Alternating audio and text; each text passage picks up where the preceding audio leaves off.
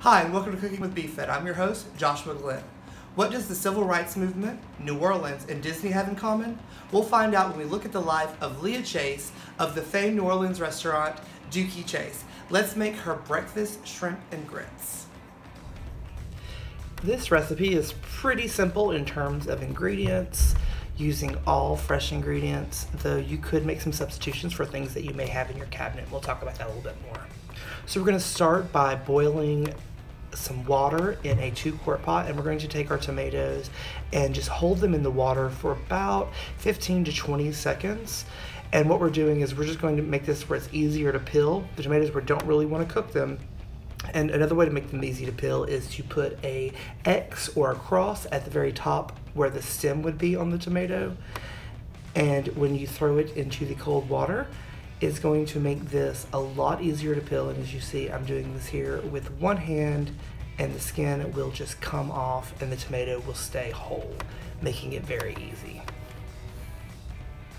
So we have our butter here that we're adding into our pan on for medium heat and we're just going to let this butter melt and once it's almost completely melted we're going to add in our onions, bell pepper and fresh garlic that we have chopped and we're just going to saute this until the onions are transparent. You want to make sure that you keep them moving. You don't want them to burn.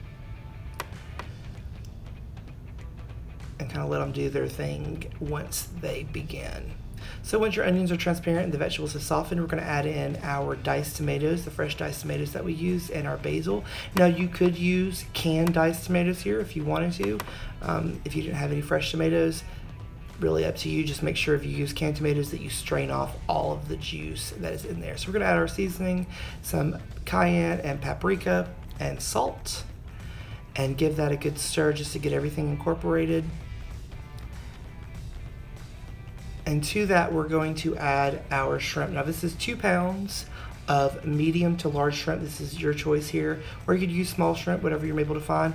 I'm using some pre-frozen shrimp that are veined and peeled and we are just I just let them defrost and we're just gonna stir those in and then cover it up and let it do its thing over medium low heat. Now here we have some boiling water or chicken stock. I use chicken stock with a little bit of butter in it. We're just following the instructions on the five minute grit container and we're gonna begin stirring that and get those grits cooked. Now here's where the magic happens. Once your grits are cooked, you're gonna add in your milk and egg mixture. And this is just a fourth a cup of milk and an egg. And you can use whole milk, fat-free milk, heavy cream, half and half, whatever you want to use here. We're just gonna get this really good and incorporated.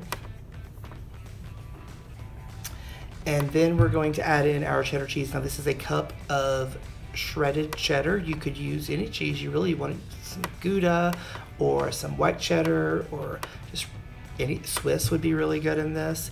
So once you get the, the cheese is completely melted, you want to put that into a pan that has been either buttered or sprayed down with like some cooking spray. And we're gonna put that in a 375 degree oven for about 10 to 15 minutes.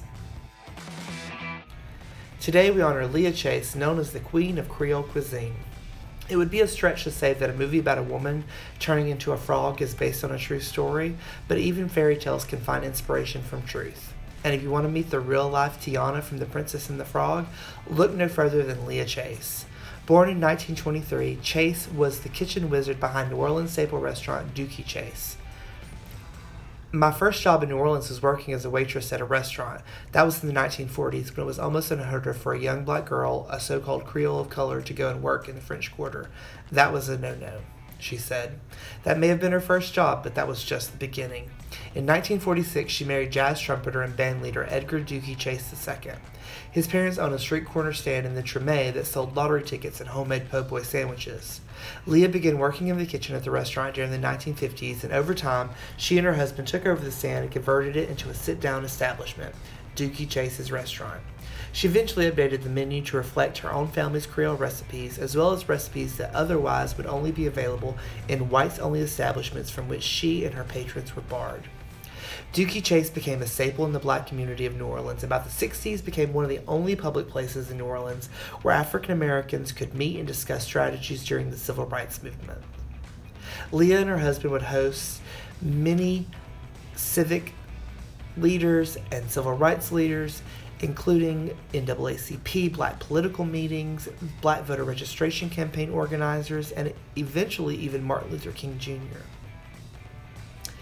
Leah received the James Beard Lifetime Achievement Award in 2016 for her lifetime's body of work, which had a positive and lasting impact on the way people ate, cooked, and thought about food in New Orleans. Many world renowned chefs, such as John Besh and Emeril Lagasse, honored Leah Chase and credited her with perfecting Creole cuisine. Over her lifetime, Chase fed many celebrities and politicians and activists, including George W. Bush, Barack Obama, Hank Aaron, Lena Horne, James Baldwin, and so many other prominent figures in the African American community as well as the community beyond. When Disney creators were looking for a story to inspire their new animated film about an African American princess in New Orleans, it was easy for them to find Leah. Leah Chase died on June 1st, 2019, at the age of 96, leaving a lasting impression on cuisine in New Orleans and even more, helping to make the world a better place, one dish at a time. After 15 minutes in the oven, your grits should be ready, and it's time to eat.